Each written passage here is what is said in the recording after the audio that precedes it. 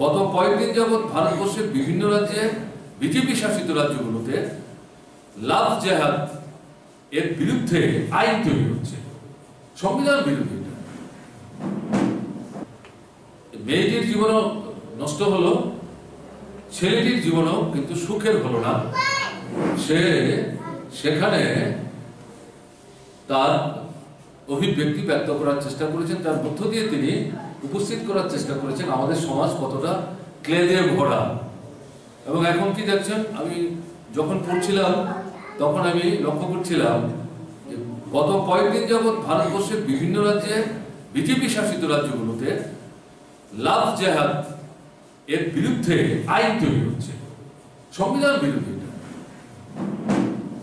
আঠারো বছর হয়ে যাওয়ার দুটো ছেলে মেয়ে, একে অপরকে পছন্দ করতেই পারে। জাতের প্রশ্ন না, ধর্মের প্রশ্ন না, বর্ণের প্রশ্ন না, সম্প্রদায়ের প্রশ্ন না।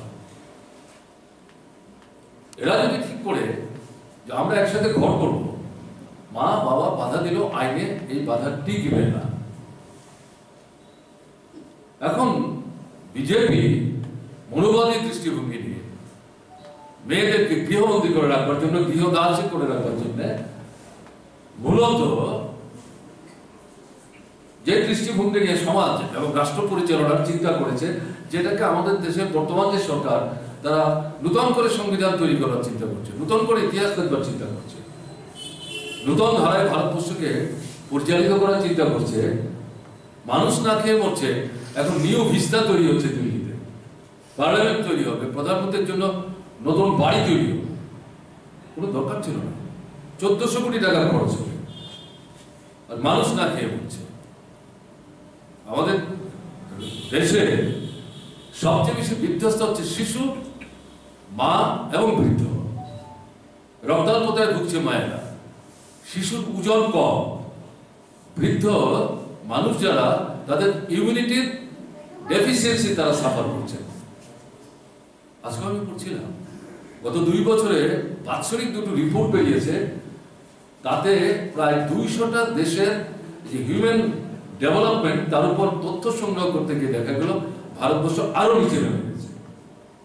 কাজ নাই, খাবার নাই, চাকরি নাই, অনাহার, অর্ধাহার, কে কার খবর লাগে মুকেশ আম্বানি ভারতবর্ষের ধনী, এশিয়ার অন্যতম, পৃথিবীর প্রথম আটের মধ্যে, তাতে আমাদের কি? যাদের নিয়ে তার লেখালেখি এই যে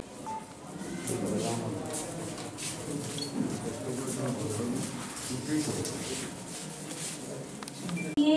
আমাদের সামনে আসে তখন তার রচয়িতাও ঠিক সেই প্রসবকালীন আনন্দই উপভোগ করেন।